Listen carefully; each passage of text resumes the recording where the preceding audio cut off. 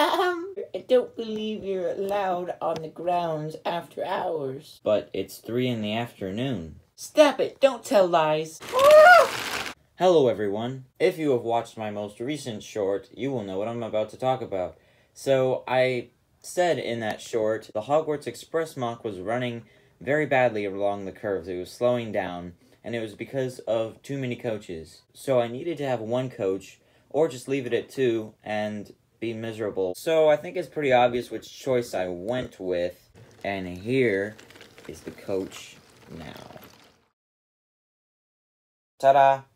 So, like my previous Hogwarts Express videos, we're going to take a look at the aesthetics first. And I'm going to start by saying I am very happy with the aesthetics of this. I think I took the good traits of the original coaches and just kind of multiplied them. As you can see, this time I put some details between the two wheels, unlike I did on the previous two coaches. And this coach has the two little closed doors on the end, just like the other two coaches did. So you've probably noticed this one is a little longer than the other two coaches, and that's because I added six studs to the length of the coach, and I think it turned out very nicely. And in case you're wondering, yes, the windows and the Hogwarts sticker is on both sides. So I actually found two more of those big glass pieces that fit in there. Turns out they're not exclusive to the Hogwarts Express set alone. In fact, they're even in the Daily Bugle, but I didn't want to take them out of that.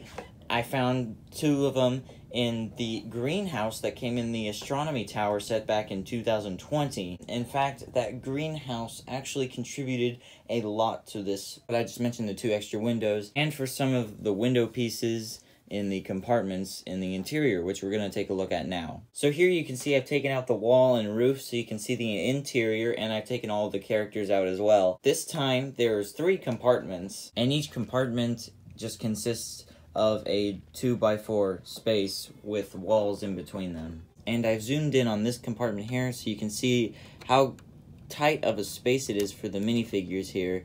It can seat two, but uh, it's looking a little sus right there. But that actually is somewhat accurate to how it is on a train because the compartments can be very small. They don't even have to be holding hands. On the other side of the coach from the compartments you have a luggage rack and this one is a lot smaller and it's not completely made of glass this time. That just didn't seem to fit in a Harry Potter world. This one is smaller and can only fit one, maybe two suitcases. And you can see the next to the luggage rack is the trolley cart, and it's the exact same trolley cart from the last one. I didn't make any changes to it whatsoever. And it just fits in here nicely. There's nothing attaching it. It's just sitting on tiles. And we're to go ahead and take an aerial view of the coach. And you can see the compartments and a little hallway just all tiled off. And then I used a 4x6 sand blue plate to put there, so if you want to have a minifigure there, you can do that. So that is the full interior of my Hogwarts Express coach. So, as far as the aesthetics, I think the roof looks very good, the interior looks very good. So I'm actually going to give the aesthetics a 10 out of 10, because I just think this coach looks absolutely gorgeous, especially when it's running. And we're going to take a look at that later in the video. But right now, we're going to look at the accessibility.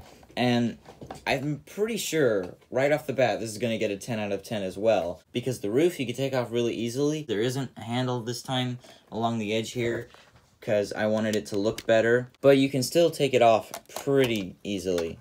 And it's only being held by these four studs right here. And then you can take off this wall. The other wall is not removable, but this wall is. And the wall here is also being held by four studs. So there you go, that's all the accessibility that we need to take a look at. Now my biggest concern making this coach was, is it still going to slow down the train on the curves? Now we're going to test that out.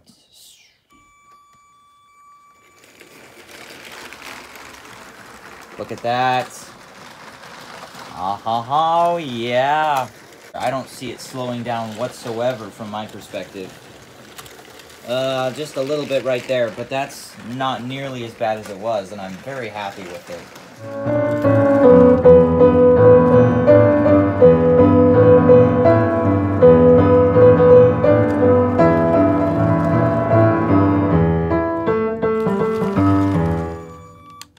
So now that there's not so much weight pulling on the train making it slow down, I'm going to give the motorization a full score of 10 out of 10. Aesthetics, accessibility, and motorization test all got a 10 out of 10, meaning the full score now is 30 out of 30. It got 100% on the test. So that is all for today's video. I hope you enjoyed it, because if you did, you should leave a like or comment, maybe consider subscribing. So keep on building and see ya later!